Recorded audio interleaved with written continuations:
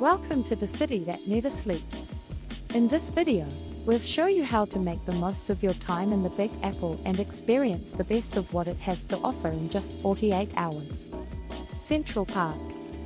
First on our list is Central Park, a lush oasis in the middle of the bustling city. Whether you're looking for a relaxing stroll, a picnic, or a bike ride, this park is the perfect place to escape the city's hustle and bustle and enjoy the great outdoors. Times Square. Next up is Times Square, the pulsating heart of the city. With its bright lights, towering billboards, and bustling crowds, Times Square is a must see for anyone visiting New York. Stop by one of the many Broadway theaters, or grab a slice of pizza from one of the many street vendors.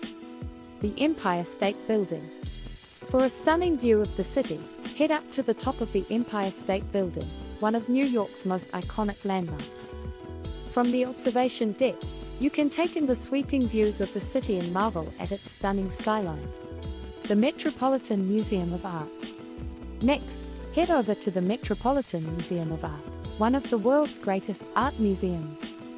With over 2 million works of art from around the world, this museum is a must visit for anyone interested in art, history, and culture.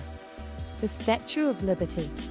Last but not least, no trip to New York is complete without a visit to the Statue of Liberty, one of the city's most iconic landmarks. Take a ferry over to Liberty Island and marvel at the stunning beauty and symbolism of this world famous statue. These are just a few of the many things to do in New York in 48 hours. With so much to see and do, this city is a true destination for culture lovers, foodies, and adventure seekers alike. Don't miss your chance to experience the best of New York in just two short days. Start planning your next adventure now. Thanks for watching. Don't forget tell us in the comments your favorite part of New York and subscribe to plan your next adventure.